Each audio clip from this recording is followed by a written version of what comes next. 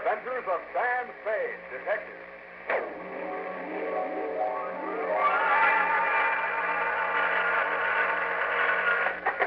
Sam Spade Detective Agency. Oh, Spade, sweetheart. Oh, hello, Sam.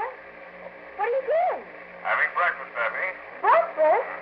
But it's 7.30 in the p.m. Well, it's topsy-turvy world, sweetheart. What was the problem, Sam? Oh, a gold key to the door of her apartment. She got to figure out what it unlocked. Very complex case, Effie. Greed, passion, twisted ambitions, hate, love, vengeance, and murders, all gamut. It was uh, ghastly every now and then. Well, Sam, maybe we ought to put off the report for morning when you're feeling. Oh, it's very considerate of you, sweetheart, but I'd like to get it off my chest now tonight. If you uh, want to help, just be at your desk. Now, don't say anything when I come in. Just be there.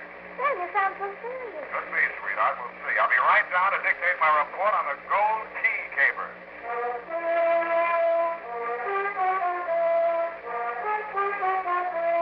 Now, with Howard Duff starring in Spade, Wildroot brings to the air the greatest private detective of them all in The Adventures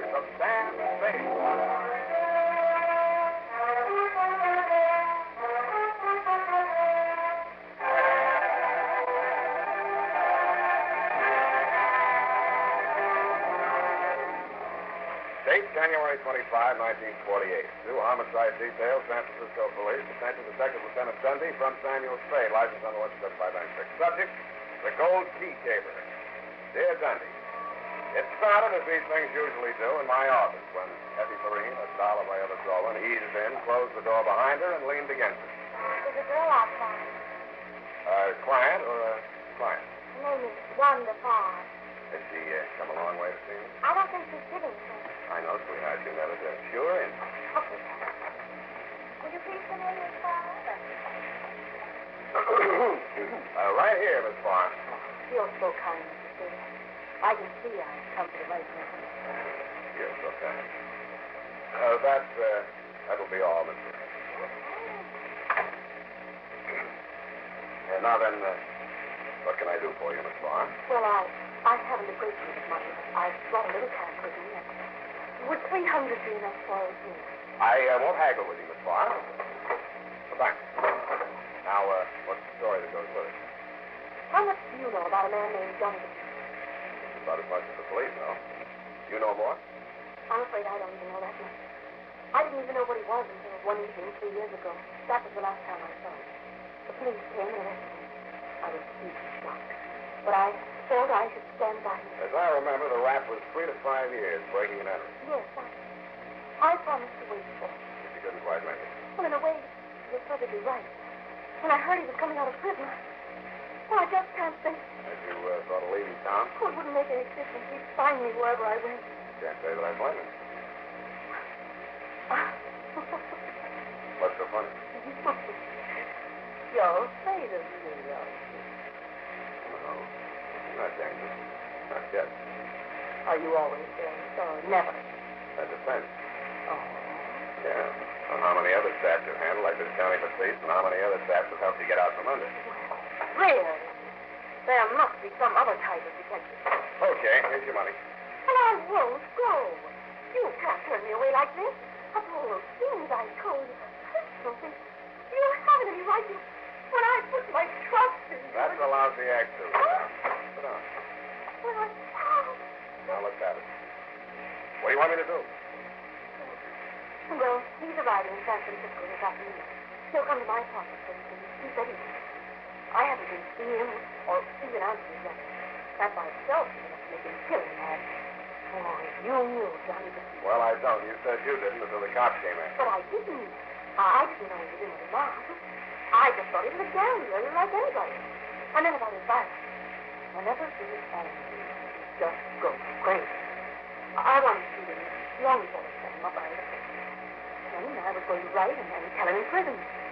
But then I was afraid he'd break out and make things worse for himself. But now, Now, you've really got to think. yeah, but I can't. I'm afraid. Uh-huh, and you want me to hold a gun on him while you give him the air. Oh, you say it like looking for.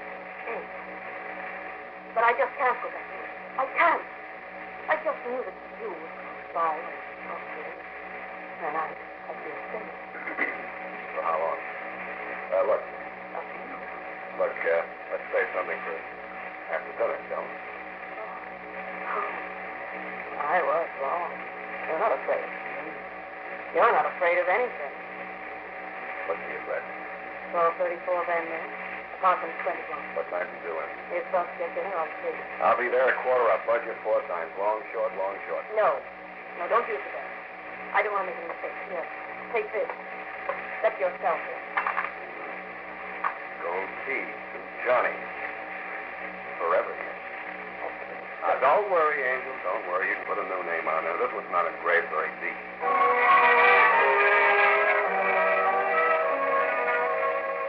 She'd gone, a heavy fragrance clung to everything she touched. The chair she sat in, my glass with her lipstick on it for 300 bucks, even the gold key. I rubbed it up against my coat sleeve. The name didn't come off. It only shone brighter. I threw it across the room just to see if it would bounce. It did. And when I walked over to pick it up, there were two keys, or at least one and a half. The gold shank had been hollowed out, and the key to that fitted inside it was wrong again, Dundee. Not a glass key, a brass key with a number on it, 322, nothing else. I wondered if Johnny Batiste had been living a double life, at least one and a half. I was still wondering when I slipped the brass key back into its hiding place and used the gold one to unlock the door of Wanda's apartment.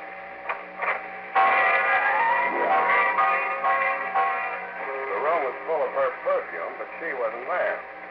Johnny Batiste was. He was cleaning the prison dirt out of his fingernails with a shiny new spring blade knife. Get that key. What for? You're in.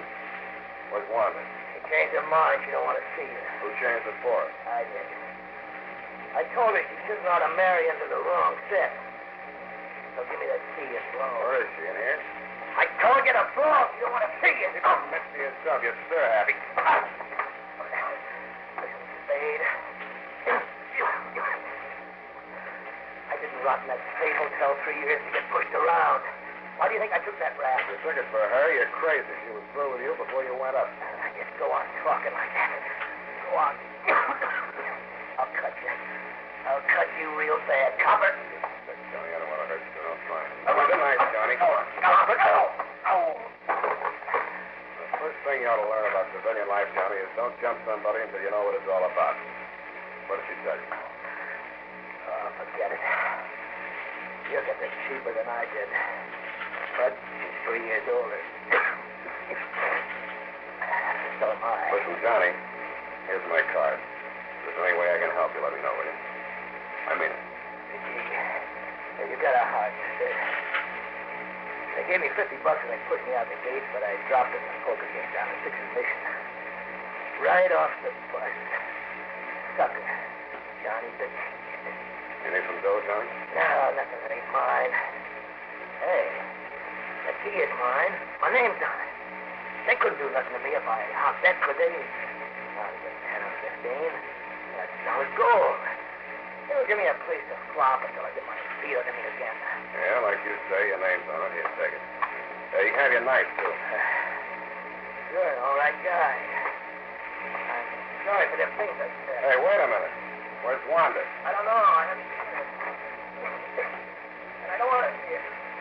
So long. I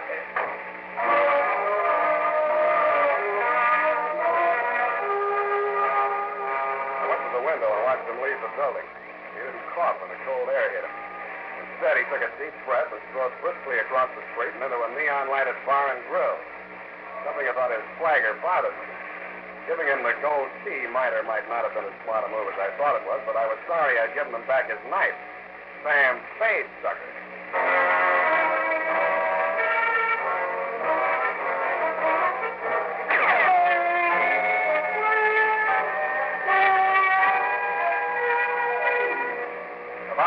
I decided to start acting like a detective for a change. I took a chance on Johnny Batiste being thirsty enough after three years to keep his elbow crooked at the bar long enough for me to frisk Wanda's apartment.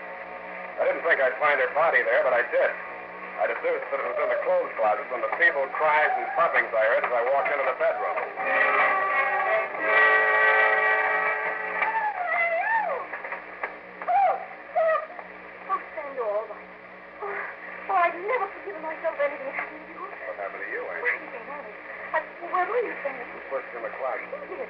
When he heard you coming up the steps. Why? Well, well, you were coming any minute, and I had to say something, so I, told him you were going to marry me. Oh, that's fine. Well, here we are. Oh, but, but that's not all I said.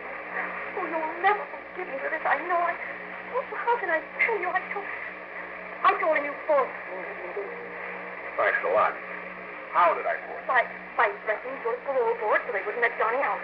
I must have a lot of influence. Yes, and, and that way thought I was protecting him so he didn't hurt me. Oh, only this little bit. And it pushed me to cross. Well, it's nothing, really. Only a little disgust.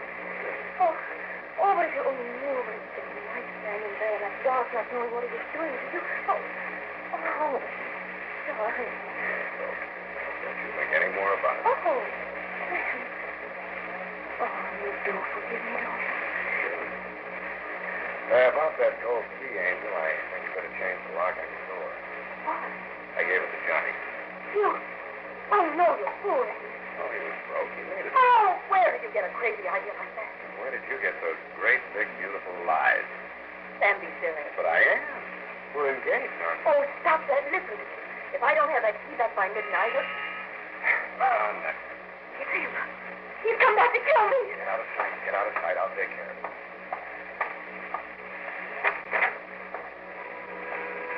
There were two of them. Neither one was Johnny Batiste. They brushed past me and entered the room without a word and stood there with their faces hanging out. While we were giving each other the silent treatment, I sized them up.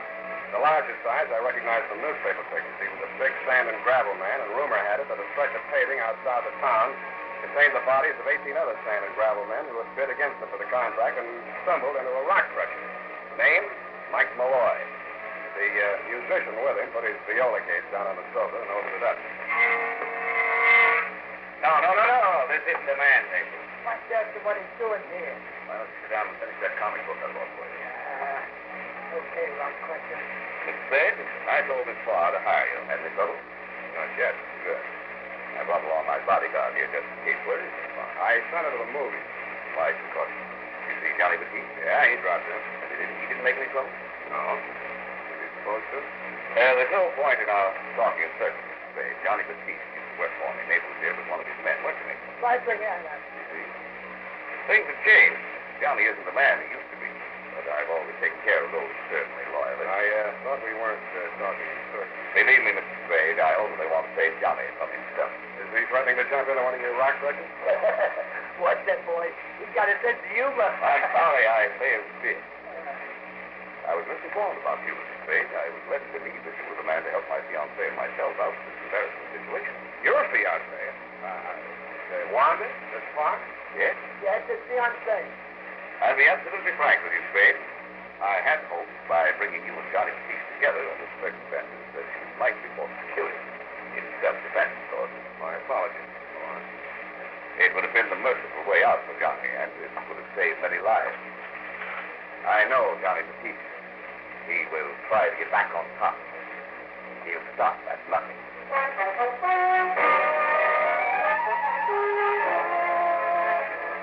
I believed them, and it was no mistake.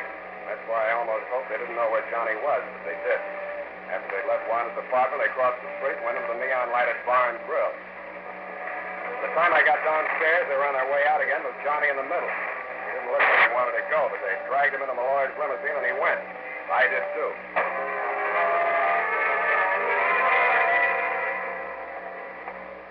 Trail ended on the Embarcadero at the Harbor View Hotel. By the time I got into the lobby, Johnny and his two guards had disappeared up a ratty-looking flight of stairs.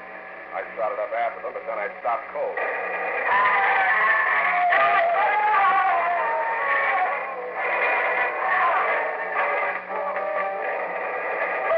When I got to the top of the stairs, I saw where the number one burst had gone. It had raked the ceiling and taken every light bulb in the corridor. I could see the flashes from the Tommy gun as somebody backed into the hall from one of the rooms, still pumping lead. Why you die? Hurry up and die! I'm gonna get out of here! Hey! Hey, who's that? Who's that? He either saw or heard me. I flopped down on my belly and tried to work my way into the tenth of an eighth nap in the crummy carpet. I made like I'd been hit, but I couldn't quite manage the death rattle. When I heard the gunman run down the hall toward the rear of the building, I rose courageously to my hands and knees and crawled the rest of the way down the corridor and looked into the smoke-filled room. The air tasted like burned powder, but it smelled like blood. I swallowed my insides and went in. There were eight of them. I'll spare you the details, Dundee. You saw them after they were cleaned up. I needed some fresh air, and I needed it quick.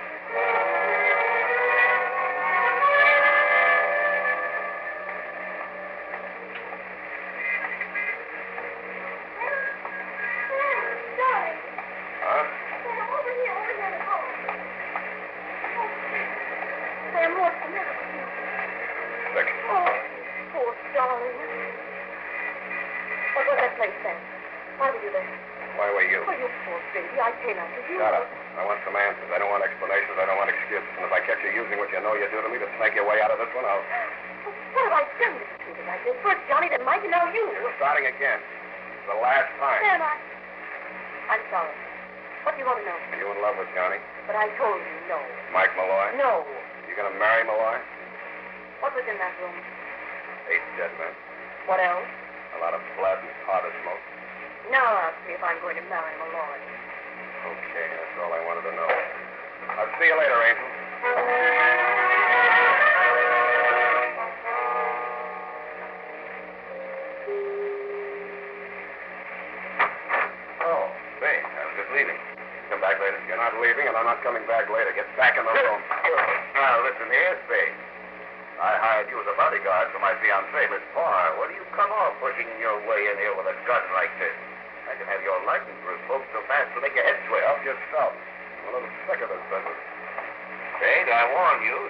This.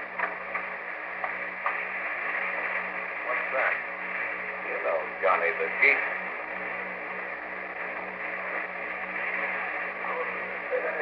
Hello, Johnny. I gave you a working over. You talk? What's this for, Malloy? Ask Johnny, he knows. All right, I will. You move over here where I can watch you. Keep your hands behind your neck. It's relax. This is going to cost you more than your life. Shut up! Now, Johnny, listen to me. This is important. Move your right hand to yes. You framed yourself in the breaking and entry wrap to cool off from a bigger one, right? Okay, I see it, Johnny. Murder? No. Robbery? Mm-hmm. How big? Five thousand? Fifty? Five hundred thousand. That payroll job. Bakersfield, December 1944. That right, Johnny? Now, if I go through with this farce, I can give it to you. If you think it'll do you any good, I promise you it won't. Johnny got himself set up on that three to five year rap, partly for the reason you say, and partly because he didn't want to dilly with the rest of the boys. He cooked up this transparent scheme of his, that gold key, that hotel room to throw us off the track. They could think the loot was hidden there. Sure it is? Positive. I bought that hotel and ripped it to pieces, room by room. So you cooked up a couple of pretty crude schemes of your own to sweat it out of Johnny. First, you thought you could goad him into killing me. When that didn't work, you had your boy Naples knock off the opposition boys into the peace mob so you could hold the whole massacre over his head. Who do you think you could settle that? Oh, excuse me. I think I'll start with you. Save your laugh until you feel better, Johnny. Don't get jumpy. Yeah, I know it's me. I'll talk to him in the other room.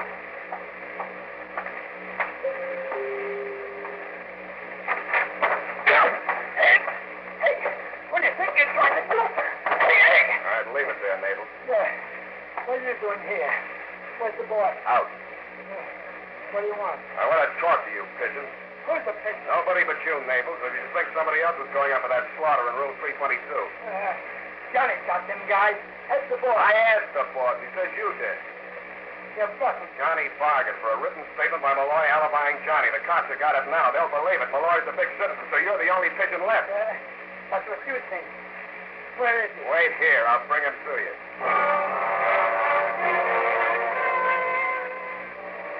I left Naples standing there in the vestibule waiting for Malloy. Then I hoisted Johnny onto my back and left Malloy waiting for Naples. He went out the back way. I ran to the freight elevator and watched the floor indicator moving around. I believe it was between 6 and 7 when I heard a familiar sound from the Malloy apartment.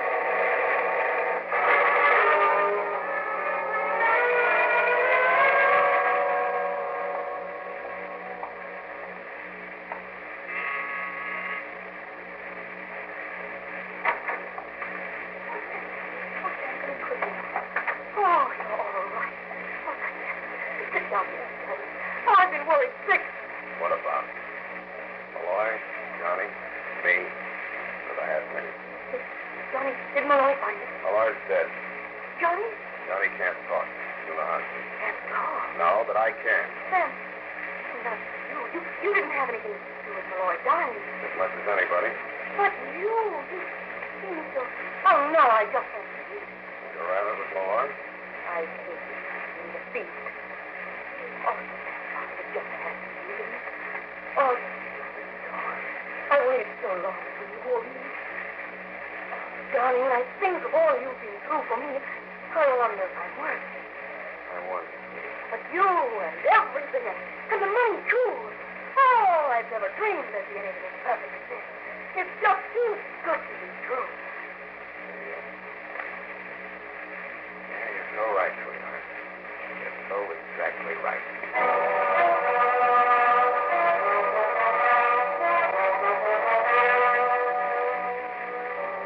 I didn't tell her I didn't have the heart. We uh, talked some more and uh, toasted some marshmallows.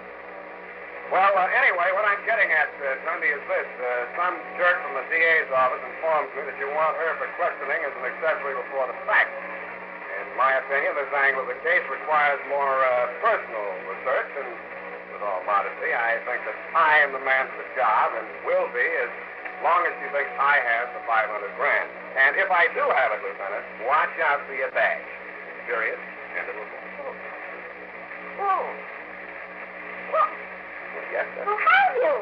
Have I what, Effie? The $500,000? Oh, heavens to Betsy, how can you be so calm about it? Pipe that up, sweetheart. Search every nook and cranny for treasury hawkshaws, and I'll give you a full account. Private, of course.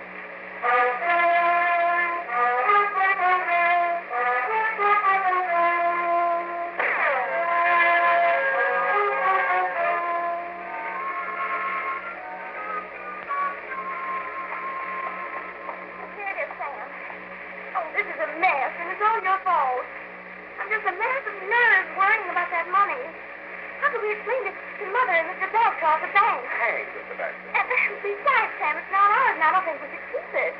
And if that girl loves you, just for your money, Worry no more, my sweet. Happy. Can you see the ticket? you're giving it back already? Oh, of course you would. Oh, I never had. But who did? Where is it, Sam? Listen, my dear, and you shall hear. There never was an any 500 grand as far as Johnny is concerned. He didn't have anything to do with that robbery. He invented the whole caper, including the hocus pocus about the gold key.